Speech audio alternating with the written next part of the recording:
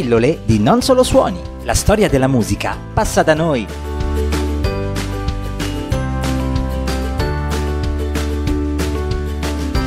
Ben ritrovati in questo inizio di settimana nella quale inevitabilmente si parlerà ancora di Sanremo. Se ne sta parlando perché l'onda lunga del festival si sa è proprio lunga e allora anche noi vogliamo in qualche modo dedicare un ultimo spazio speciale alla Kermesse con una puntata nella quale però vogliamo parlare di quegli artisti che a Sanremo sono stati sì ma una sola volta. La classifica dei primi dieci ritenuti big l'ha stilata la rivista Rolling Stones riguardo ehm, ehm, quei personaggi che sono saliti sul palco dell'Ariston dalla fine degli anni Ottanta ad oggi come concorrenti, ma una volta sola perché, come invece abbiamo visto anche in questa edizione appena conclusa, spesso certi nomi tornano e più volte. In questo caso, se lo hanno fatto, è stato soltanto in veste di ospiti. Iniziamo allora da Giovanotti nel 1989. Va detto che eh, quest'anno è apparso, sì, quest'anno è appena concluso, ma come autore autore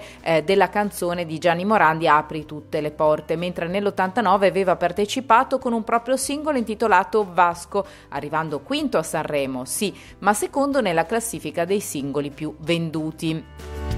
Nel 2000 invece presentò, ehm, si presentò sul palco dell'Ariston come ospite insieme a Carlinos Brown con l'inedita Cancella il debito, eh, con la quale invitava a questo gesto i politici nei confronti dei paesi più poveri. Beh, va detto che l'allora presidente del Consiglio Massimo D'Alema eh, invitò lui e poi Bono degli U2 a parlarne a Palazzo Chigi. Altri big Ipu nel 1990 quando vinsero con Uomini Soli, pezzo destinato a diventare un must della band e anche un evergreen. Poi tornarono all'Ariston nel 2016 per la reunion che chiuse la carriera oppure in gara certamente ma da solisti, per esempio Facchinetti nel 2007 con il figlio Francesco e il brano Vivere normale, poi nel 2018 con Riccardo Fogli e Il segreto del tempo. Nella stessa edizione Red Kanzian ehm, com, diciamo che fu anche lui concorrente con Ognuno al suo racconto. Ed eccoci a Riccardo Cocciante, 1991 quando vinse con Se stiamo insieme, di fatto il secondo secondo singolo più venduto di quell'anno.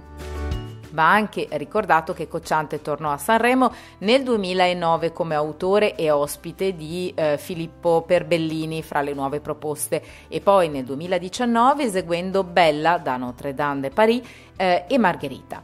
Ecco poi Caparezza nel 1997, parliamo quindi di Michele Salvemini, all'epoca Mickey Mix, che eh, nell'anno della vittoria dei Jalis era una delle nuove proposte con E la notte se ne va.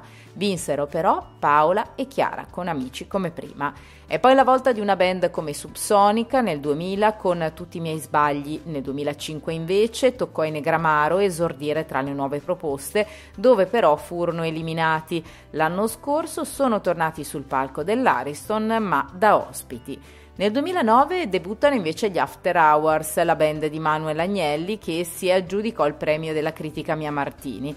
Agnelli poi è risalito sul palco dell'Ariston altre due volte, ma senza band e non in gara. La prima nella serata dei duetti del 2019, intonando Argento Vivo insieme a Daniele Silvestri, e la seconda, indimenticabile, nel 2021 come ospite dei Maneskin, che naturalmente lui stesso aveva lanciato come giudice di X Factor durante la serata delle cover sulle note di Amandoti dei CCCP. Eh, ed eccoci al 2011 con Franco Battiato che invece era stato ospite nel 1999.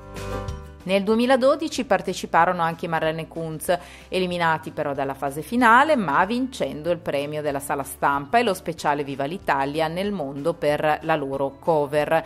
Nel 2020 arriva anche Piero eh, Pelù, il leader dei Lead FIBA, eh, che era al suo primo Sanremo, quello di Amadeus eh, con Gigante dedicata al nipote. Poi a sorpresa arrivò al secondo posto nella classifica parziale. Alla fine invece fu quinto e eh, fece eh, parlare di sé per il cosiddetto furto della borsetta una signora in platea. Nella serata delle cover invece eh, cantò Cuore matto. Per finire quindi abbiamo deciso di proporvi uno degli artisti citati ed esattamente il primo, Giovanotti con la sua Vasco, singolo di lancio dell'album La mia moto. Il pezzo firmato dallo stesso Giovanotti insieme a Claudio Cecchetto e Luca Cerosimo rimase per due settimane consecutive in vetta alle classifiche di vendita.